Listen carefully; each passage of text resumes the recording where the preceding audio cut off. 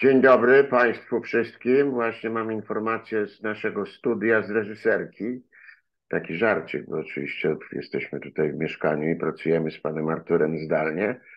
Mam dzisiaj przyjemność e, e, opowiadać panu z panem Ar Arturem Minkiną z firmy ASECO o wydarzeniu, które nas czeka i e, które wydało mi się na tyle interesujące, że już zamieszczamy w tej chwili drugą informację prasową, natomiast tak jak to robię od dłuższego już czasu, namówiłem pana Artura, że był tak miły i dał się trochę wciągnąć krótką rozmowę na temat tego wydarzenia. A będzie to wydarzenie Trusted Economy Forum.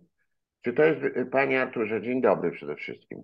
Dzień dobry, witam pana, witam państwa serdecznie.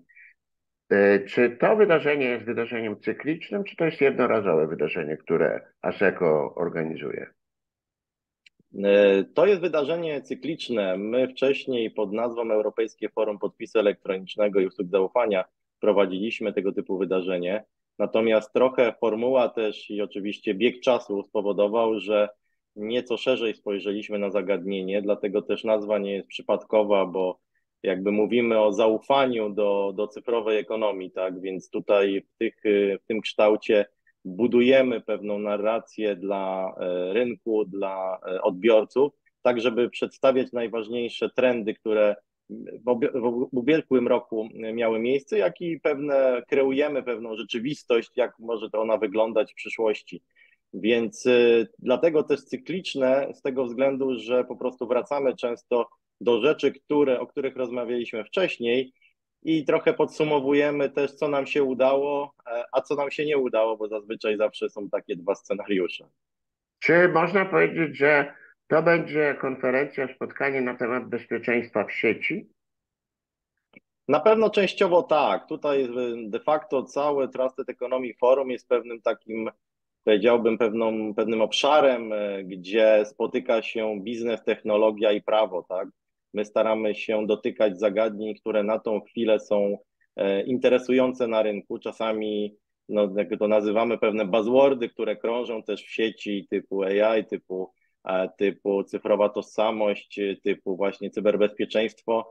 W różnych e, kontaktach de facto mamy do czynienia z nimi. Natomiast na tym forum chcemy przedstawić, jak w praktyce też można wykorzystywać tego typu zagadnienia, co się z nimi wiąże, jakie są ryzyka, jak w ogóle zacząć e, poruszać się po tym świecie cyfrowym w sposób bezpieczny, więc jak najbardziej możemy tutaj mówić o bezpieczeństwie sieci, sieci e, szeroko rozumianym.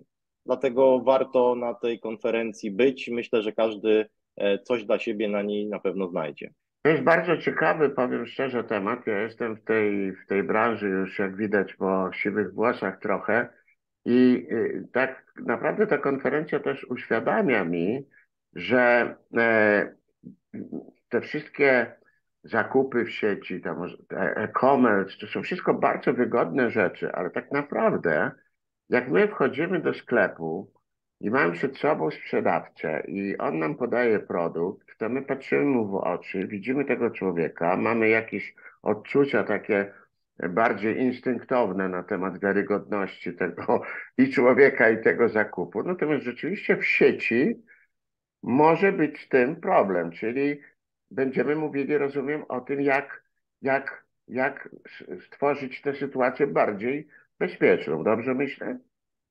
Tak, jak najbardziej. Dotknął Pan tutaj e, w zasadzie kilku elementów. E, przede wszystkim zmiany pewnie, pewnej mentalnej. My jesteśmy jednak od lat przyzwyczajeni e, do pewnych też stereotypów mimo wszystko. I przejście z takiego świata tradycyjnego na świat cyfrowy wiąże się e, z tym, że są pewne możliwości, ale pojawiają się oczywiście też zagrożenia. E, myśl przewodnia tej konferencji, czyli nowa rzeczywistość na krawędzi, to też jest pewien taki element, którym staramy się na tej konferencji pokazać, czyli z jednej strony właśnie ta prostota, czasami realizujemy pewne działania nie myśląc specjalnie o, o tym, co się dzieje w tle, E, ale z kolei usługi, które są tak świadczone, muszą być odpowiednio zabezpieczone pod kątem cyberbezpieczeństwa. Więc y, ten znalezienie tego złotego środka między tym tak zwanym UX-em użytkownika, odczuciem, tak, a, a bezpieczeństwem całej transakcji, którą wykonuje, no musi być odpowiednio wcześniej przygotowane. Więc y, na tej konferencji też y, pewne rzeczy kreujemy, tak? Wiele narzędzi jest już dostępnych na rynku, z których można skorzystać, tylko należy te narzędzia odpowiednio ze sobą połączyć, aby rzeczywiście e, ten aspekt związany zarówno z tym, że użytkownik chce skorzystać z danej usługi online, versus to, że czuje się bezpieczny realizując tą usługę, no to jest zawsze wyzwanie, tak? To jest często mówimy, że, że musimy jakby tu wypośrodkować te dwie kwestie. Jasne. Na tej konferencji gościem specjalnym będzie pan Szymon Marciniak. Myślę, że bardzo wielu ludzi już zna tego człowieka i to takiej bardzo pozytywnej i wspaniałej strony, bo to pan Szymon Marciniak jest międzynarodowym sędzią piłkarskim i reprezentował nas godnie, nie chcę tu za bardzo tego, tego komentować, jak reszta reprezentowała, natomiast on bardzo godnie reprezentował nasz kraj na Mistrzostwach Świata w Katarze. Skąd taki pomysł, żeby zaprosić pana Marciniaka na konferencję? Przede wszystkim, jeżeli mówimy o zaufaniu, a taka jest jednym z głównych filarów tej konferencji, to mówimy o zaufaniu w szerokim pojęciu, tak? Zaufaniu zarówno do ludzi, z którymi robimy, tak powiem, biznes, do technologii, na której się opieramy, do usług, z których skorzystamy, ale przede wszystkim do ludzi, z którymi de facto e, realizujemy określone zadania. E, jakby pozycja tutaj e, pana Szymona Marciniaka no, pokazuje nam, że to zaufanie jest potrzebne na każdym poziomie życia. Tak? No, mówimy oczywiście tutaj o międzynarodowym sędziu piłkarskim, który też ma nie lada wyzwanie, żeby z jednej strony zapanować nad takim meczem piłkarskim, z drugiej strony, żeby obie drużyny miały zaufanie do poprawnych zawodów, do e, równej walki, e, do takiej otwartości, transparentności, tak? i połączenie tych pewnych cech, e, nazwijmy to boiskowych, właśnie tutaj reprezentowanych przez pana Szymona Marciniaka, versus pewne zachowania w tej cyberprzestrzeni, o której mówimy, wydawał nam się dobrym i ciekawym połączeniem, żeby z innej nieco perspektywy spojrzeć na to, na to zaufanie, tak aby mm, te rzeczy ze sobą połączyć. Więc wydaje mi się, że to też będzie ciekawe zagadnienie, jak e, przekłada się zaufanie właśnie z, patrząc oczami e, międzynarodowego sędzi piłkarskiego. A jeszcze będzie gościem konferencji. Będą znamienici goście, bo to będą goście zarówno e, firmy technologiczne, które są związane z branżą właśnie tą cyberbezpieczeństwa, z branżą bezpieczeństwa usług elektronicznych, z branżą tożsamości cyfrowej, ale będą również podmioty biznesowe, które będą prezentowały, jak udało im się wykorzystać dostępne narzędzia na rynku i pewne możliwości prawne do tego, żeby właśnie budować bezpieczne procesy dla swoich użytkowników.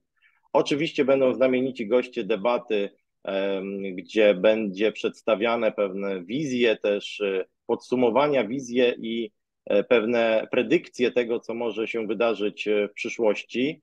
E, będziemy również o, rozmawiać o dosyć teraz też zagadnieniu, dosyć popularnym, czyli M-obywatelu, który coraz szerzej jest wykorzystywany i też musimy na to zagadnienie spojrzeć ze strony usług użytkownika znacznie szerzej niż miało to miejsce obecnie. E, ale też będziemy rozmawiali o prawie, o prawie, które się zmienia, o prawie nie tylko na poziomie krajowym, ale też na poziomie unijnym, który ma bezpośredni wpływ na pewne działania, które w naszym kraju muszą się podziać. Także wydaje mi się, że każdy będzie miał coś dla siebie, e, gdzie będzie mógł znaleźć e, odpowiedź na nurtujące go pytanie. Fantastycznie. Zapowiada się bardzo ciekawie i jeżeli, a mam nadzieję, że tak się stało, ta rozmowa zainteresowała naszych słuchaczy, odbiorców, czytelników briefu e, i pomyśleli sobie, że warto być na tej waszej konferencji, która przypomnę już za tydzień, 23 maja, to zapraszamy wszystkich na stronę brief.pl, gdzie w tej chwili zamieszczamy więcej szczegółów, informację bardziej szeroką na temat tego wydarzenia. Tam też można się zarejestrować, żeby uczestniczyć w, tej, w tym spotkaniu albo fizycznie, albo, czyli offline, albo online. Tak jest, potwierdzam, serdecznie zapraszamy.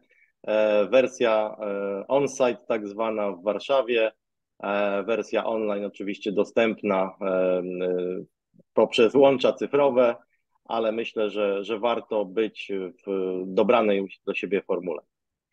Bardzo serdecznie, serdecznie dziękuję panie, panie Arturze, dziękuję wszystkim, za, którzy nas słuchali i do zobaczenia 23 na konferencji. Dziękuję również panu, dziękuję państwu.